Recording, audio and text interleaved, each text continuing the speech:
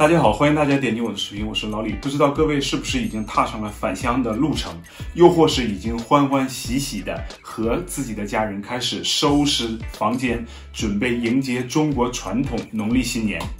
呃，今天呢，我要跟大家简单的看一下啊，这一个我 攒了好长时间前买的一个 WiFi 六 E 的路由器，哈，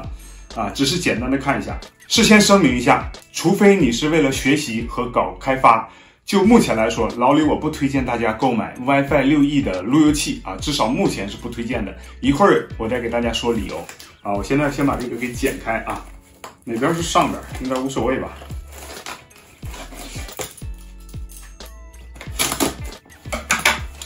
恰恰采访啊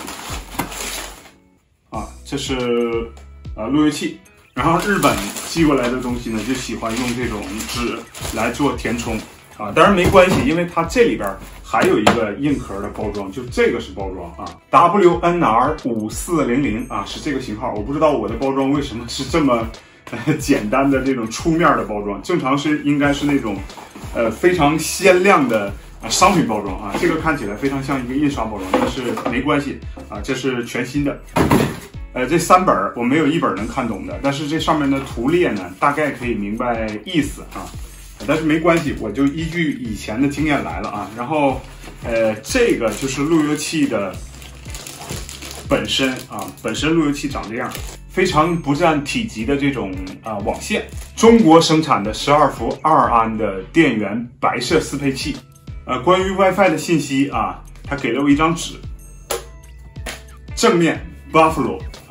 这个产品有多自信啊？我跟大家讲一下啊，像索尼、NEC 这种大的日本品牌，他们已经不能够称之为呃日本品牌了啊。由于他们已经完全国际化，所以我们更应该说像呃呃索尼啊、NEC 啊这些是国际品牌，对不对啊？或者说日本的国际品牌。呃，那么随着这些品牌不断的。呃，考虑全球化市场的需求以及产品溢价的原因呢，有很多日本本国的国民呢，他们更喜欢买一些针对本国国民设计、价格又比较趋中的这种产品。啊，这个产品呢，我可以简单的比较一下，有点像中国的那个小米啊。当然，这两个不能同日而语，不是一回事儿。我就是说，想从产品的价格区间啊，说明这个问题。呃，这个东西设计的挺好的，它除了是一个底座。啊，卡到这儿以后呢，能够增加呃路由器的稳定性，呃，同时呢，它又是一个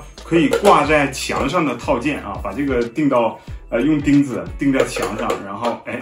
它就可以通过这样的呃挂在墙上啊，或者以一个 AP 的形式出现。它这个是有一个二点五 G 的接口啊，其他的都是没标，那一定不是二点五 G 的。还有就是我没想到像这么小的。空间它也是安排了四个啊三个啊三个烂口，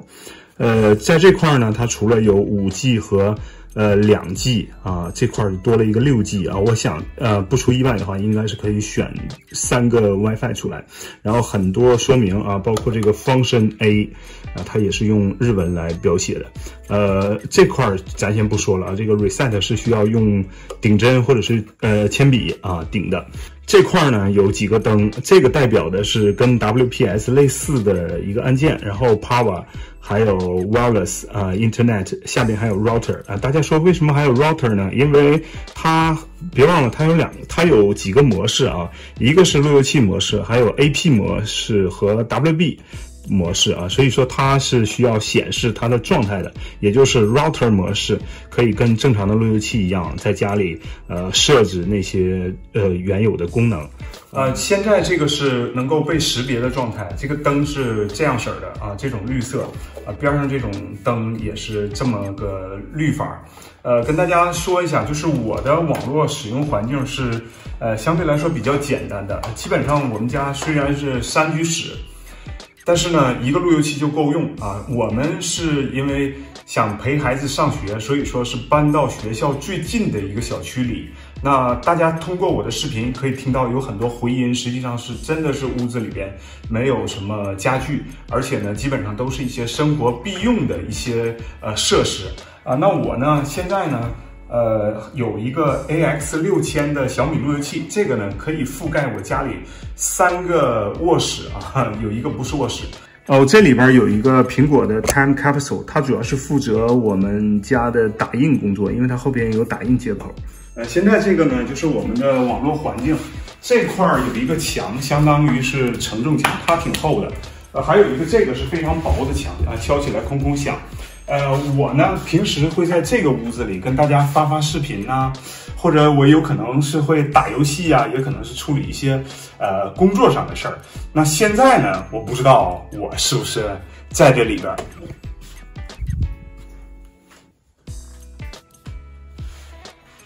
这法国的实力还是挺强的啊。呃，接下来呢，我要给大家去讲一下为什么不推荐大家买 WiFi 六 E 的路由器。呃，我相信看我视频的朋友们都应该大体上了解一个概念，就是你想享受一个完整的六 E，那你路由器和网卡这边都得具备六 E 的功能，对吧？呃，我们可以看这个路由器呢，它是从呃去年的九月份发布的啊，去年的九月份发布的这块儿的写的是发布日期是吧？具体怎么念，我大概猜应该是卡兹巴伊西基。呃，完然后呢，我们去完善一个概念啊，就是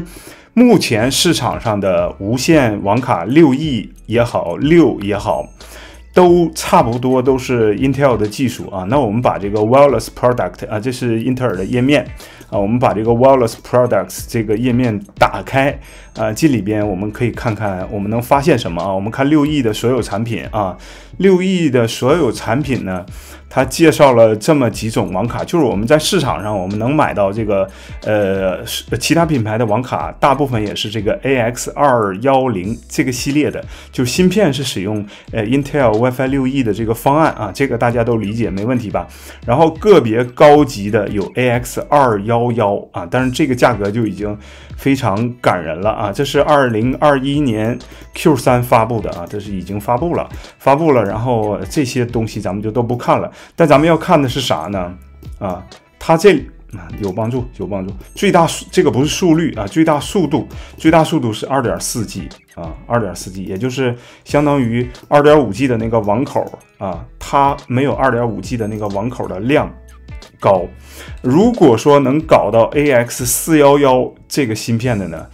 啊，这个也是二零。二一年啊，Q 四就发布了，那才也是这样的，只不过它是一个呃双连接的技术，双连接的技术啊啊，目前来说市场上所有的 Intel 的呃无线网卡的话啊，当然你是别的呃方案，那我就不知道了啊啊，这个速率就卡在这儿了，就卡在这儿了啊，那呃为什么说卡在这儿没意义呢？我们来看一下六啊 WiFi 六产品啊 WiFi 六产品啊。早期的 WiFi 六产品不行啊，你像这个二零三啊，还有幺零幺，这个是不行的。像桌面级的这种的啊啊，也是二点四，也是二点四啊，包括这个二幺零啊，也是二点四啊，就也两百系列，整个就几乎围绕着二点四 G 啊这个呃最高速度啊来来走的。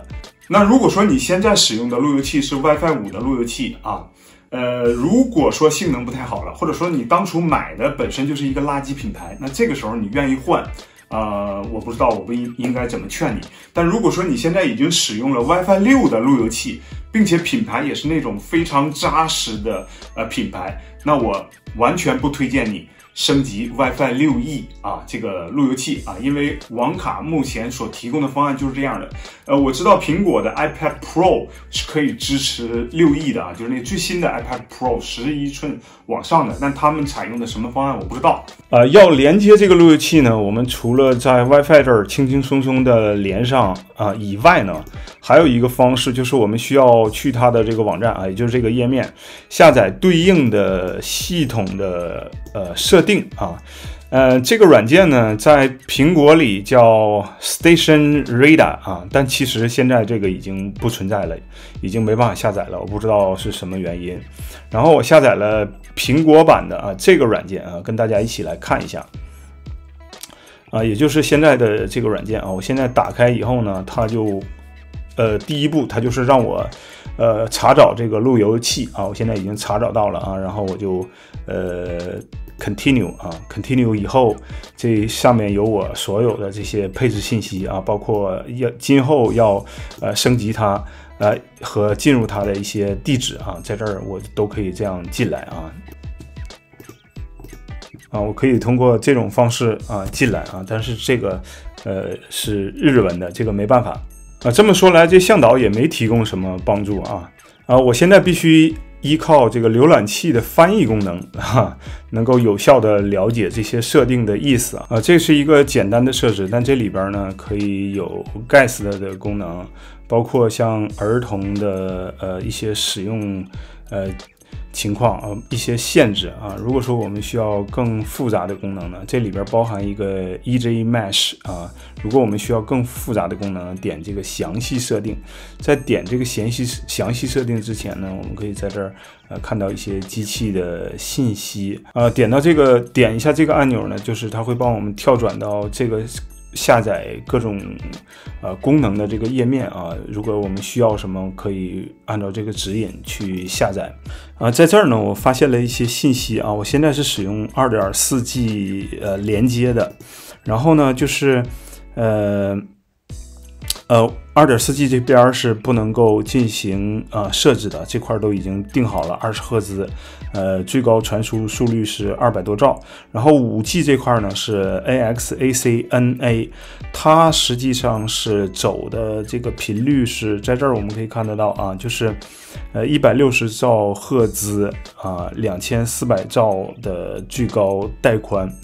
呃，这就比较有意思啊！你看六 G 这个，实际上也是一百六十兆赫兹、两千四百兆的带宽。这个二点四 G 呢，它有呃三个频段组成的，因为我们通过这个 SSD 呃呃 SSID 啊，可以看出来它有三个，对吧？呃，同时它还可以能扩展，但扩展是怎么扩展的？这个我不怎么太关心。五 G 呢，其实呃也是。三个啊，有一个被隐藏隐隐藏了，呃，具体是是不是会就是你把第三个给打开，会不会呃占用别的？这个我不太知道。然后六 G 呢，实际上呃只有一个频段啊，只有因为它只有一个 SSID 嘛。呃，这里边这个细节呢，就是如果说你恰巧也。傻了吧唧的买了这款路由器，一定得把这个二点四 G、五 G 共通啊！我觉得这个应该是向下兼容的意思，因为我只有把这个连上以后，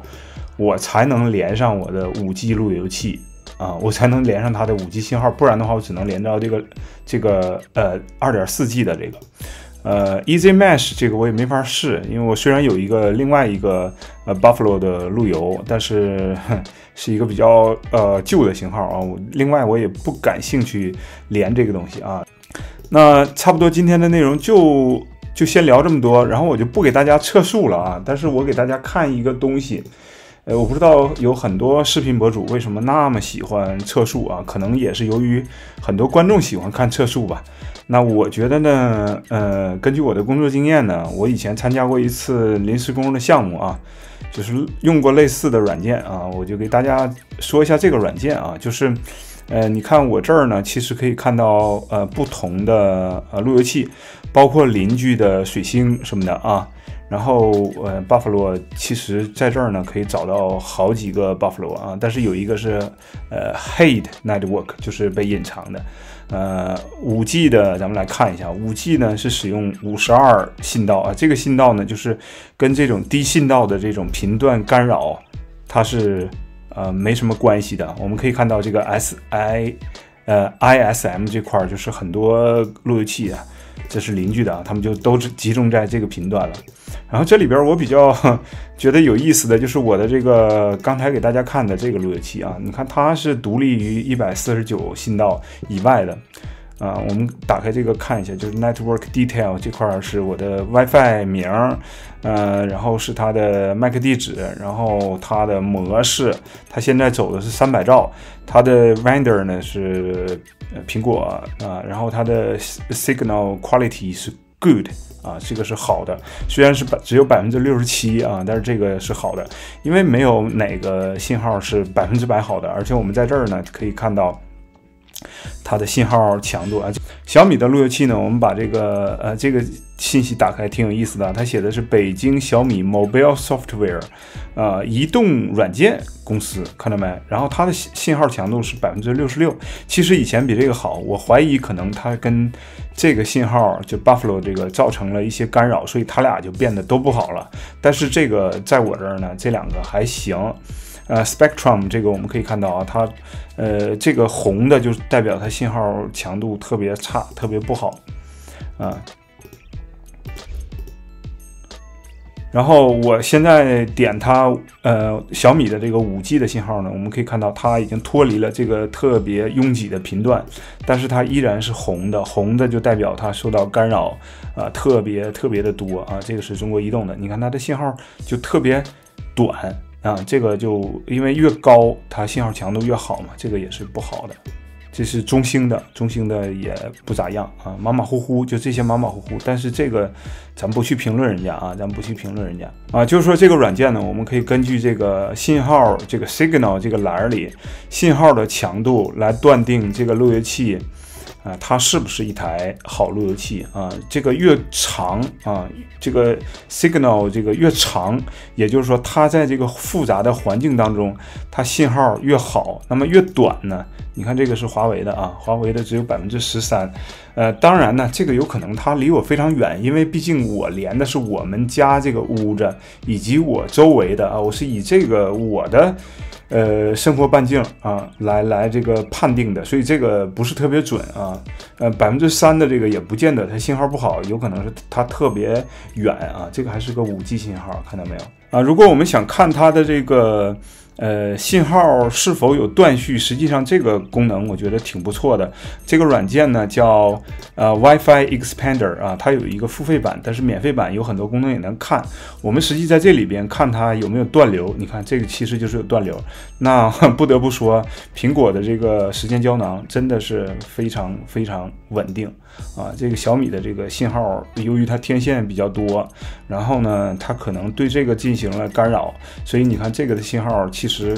走的不咋地啊，这个是这个应该是二点四 G 的信号啊，这个信号还行啊。现在这里呢有我之前淘汰下来的这个 AX 三六零零，以及我之前的呃刷了梅林固件的网件，还有 AX 幺八零零，这个也是我非常喜欢的，因为我觉得它性价比在这儿呢。然后接下来先把它放在这儿，等过几天有时间慢慢再研究。啊，刚才又在 iPad 上试了一下，确实排除了我电脑兼容性不好的问题，然后也是连不上。呃，跟大家最后再嘱咐一句，就是 WiFi 六 E 的路由器，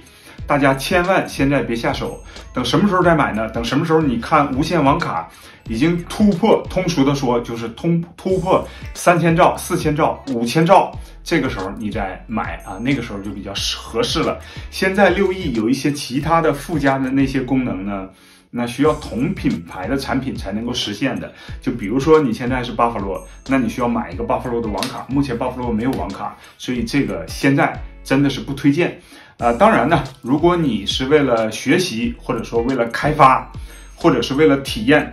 多元的文化，因为你买不同的产品就是为了体验不同的多元的文化嘛，尤其是像 Buffalo 这种，呃，带有强非常强的地域性设计的这种产品。啊，那你可以试试啊。不过你要是看了我这个视频，估计你也不怎么想买了。好的，呃，另外祝大家新年快乐，咱们下个视频再见，拜拜。